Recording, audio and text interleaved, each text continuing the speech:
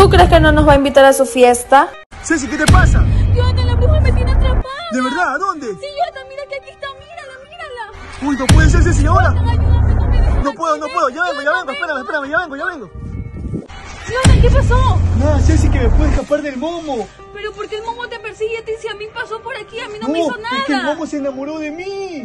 De verdad. Entonces Jonathan, cuenta la leyenda que si el momo se enamora de ti, te va a llevar con ella así tú te puedas escapar. Uy, Ayúdame, Ceci, vámonos, vámonos. Jonathan, vámonos a ver si puedo ayudarte, vamos. ¿Qué estás haciendo? Ceci, estamos desenterrando a la momia. No, Jonathan, pero ahí no está la momia. No, sí, mira, aquí está la ubicación, mira, ven.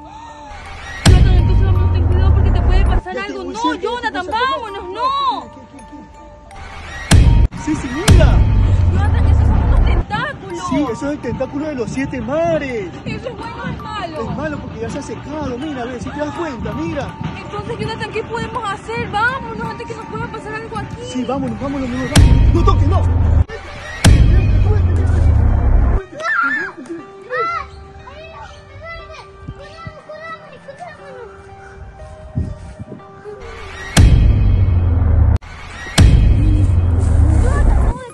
¿Qué pasó? Esa es la maleta.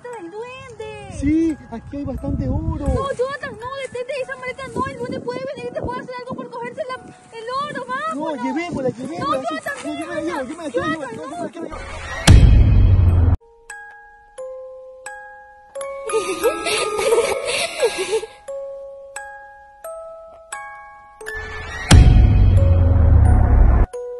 Oiga, papá, ¿sabe qué es la casa de Helga? ¿Cuál Helga? Helga, la novia de Arno, vamos a conocerlo. Uy, vamos a verla, vamos a ver.